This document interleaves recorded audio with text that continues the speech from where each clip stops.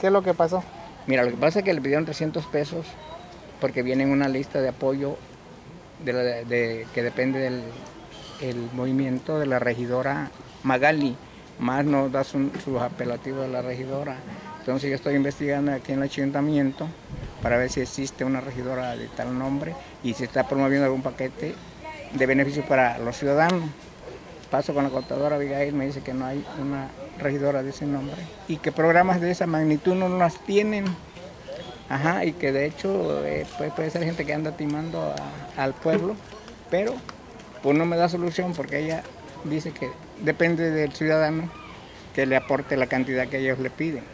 Pero así no es, sino que poner, ponerle solución antes de que la gente que estamos jodidos más que nada nos vuelvan a joder. ¿Y qué colonia es? Mira, estaba en la Silvestre Castro, acá por, por atrás de la Coca-Cola.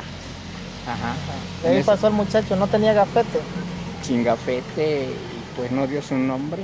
De hecho, sus documentos son puras copias, no trae originales. Nomás que ahí viene un nombre de personas que están siendo este, Beneficiados, sí. beneficiados con el paquete. Ajá, y la aportación de 300 pesos, ¿cómo arrastra nada ¿Y más? qué les va a dar con Mira? De hecho, nomás trae la lista, pero no deja ningún probante para recoger. Y entonces, ¿cómo, cómo, cómo va uno a identificarse cuando vayas a, a recoger tu, tu beneficio, más que nada que se está llegando?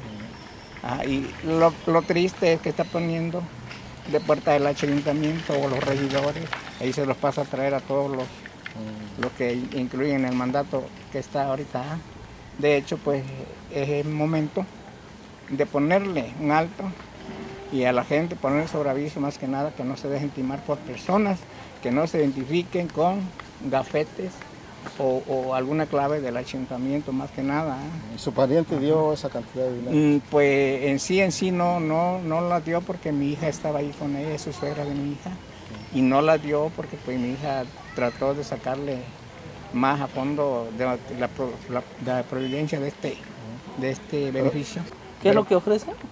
eh, son de 30 a 40 hojas de lámina galvanizada, un rotoplas de mil y fracción de litros y despensas, dos, tres despensas, algo por el estilo. Más no se le cobra absolutamente un 5, sino que 300 pesos por la raza nada más. Y de hecho, esto pasó el día de ayer, miércoles, y eh, más tarde el sábado estaba su paquete en su domicilio, que estuvieran al pendiente, pero pues, de hecho, pues no, no, no deja ningún comprobante, comprobante de, de cómo se va a recoger el, el material, en fin.